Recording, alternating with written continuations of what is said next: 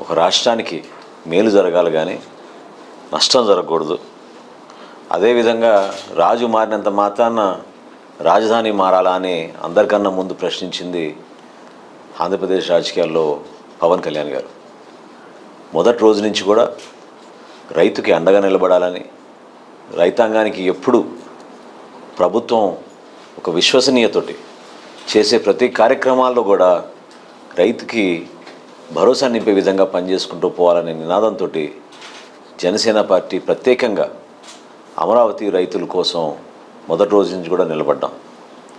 మీ అందరికీ తెలుసు గతంలో ఆ ప్రాంతంలో ల్యాండ్ పూలింగ్ అప్పుడు కానివ్వండి గత ప్రభుత్వం రైతులతో జరుగుతున్న చర్చల సందర్భంగా కూడా పవన్ కళ్యాణ్ గారు చాలా స్పష్టంగా అవసరమైతే ప్రభుత్వం రెండు మెట్లు కిందకు దిగాలి తప్ప రైతుకు మాత్రం ఎక్కడ కూడా అన్యాయం జరగకూడదు. మంచి మనసుతో వాళ్ళు వచ్చి రాజధాని నిర్మాణం కోసం భూములు ఇవ్వడానికి సిద్ధమైనప్పుడు ఇది ఒక బాధ్యతగా మనం చేయాలనేది ఆయన అనేక సందర్భాల్లో చెప్పారు. ఈ ప్రభుత్వం జగన్మోహన్ రెడ్డి గారి ప్రభుత్వం వచ్చిన తర్వాత రైతులు ఎక్కడ కూడా సంతోషంగా లేరు.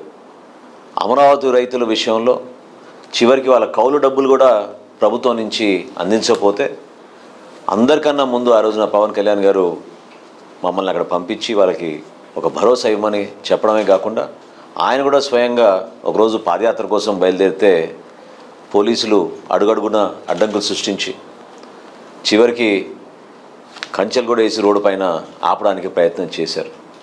వీటన్నిటినీ తెగించుకుని ఒక మంచి నిర్ణయం తీసుకున్నాం. ఆంధ్రప్రదేశ్కి రాజధాని ఉండాల్సిందే మన అమరావతిలో అనేది. పార్టీ పరంగా మా పార్టీ శ్రేణులు అందరితో నాయకులతో చర్చించి మా పార్టీ అధ్యక్షులు ఆ రోజు ఆ నిర్ణయం తీసుకున్న తర్వాత ఎవరు ఎన్ని మాటలన్నా ఎన్ని అపోహాలు సృష్టించడానికి ప్రయత్నం చేసినా జనసేన పార్టీ మాత్రం అమరావతి రైతులకి న్యాయం జరగాలి ఈ ప్రాంతంలోనే మనకి రాజధాని రావాలి అనేది చాలా స్పష్టంగా ఒక నిర్ణయం తీసుకుని ముందుకెళ్తా ఉన్నాం.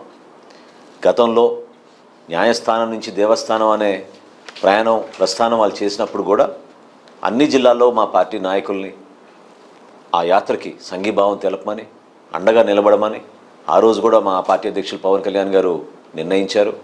రేపటి రోజు ప్రారంభమయ్యే ఈ మహాపాదయాత్రకు కూడా అదేవిధంగా పాదయాత్ర సాగిన ప్రతి జిల్లాలో ఆ జిల్లా అధ్యక్షులు మా పార్టీ నాయకులు శ్రేణులు జన సైనికులు అందరూ కూడా తప్పకుండా వాళ్ళకి అండగా నిలబడమని మా పార్టీ అధ్యక్షులు పవన్ కళ్యాణ్ గారు ఈరోజు నిర్ణయించారు. భవిష్యత్తులో ఖచ్చితంగా మనకి ఈ ప్రాంతానికే కాదు మనందరం గర్వపడే విధంగా అమరావతి రైతుల పోరాటం కేవలం అమరావతి కోసమే అని అనుకోకూడదు మనం. వాస్తవంగా మన రాష్ట్ర భవిష్యత్తు కోసం మన బిడ్డల కోసం మనం గర్వపడే విధంగా ఒక మంచి రాజధాని నిర్మాణం కోసం అందరం కలిసికట్టుగా ముందుకెళ్ళాలి. ఎంత అభ్యంతరకరమైన విషయం ఏంటంటే చివరికి పాదయాత్ర విషయంలో కూడా రైతులు కోర్టుకు వెళ్ళి ఆర్డర్ తెచ్చుకోవాల్సిన పరిస్థితి. చాలా అవమానాలకు గురయ్యారు. మహిళా రైతుల పైన కూడా పాపం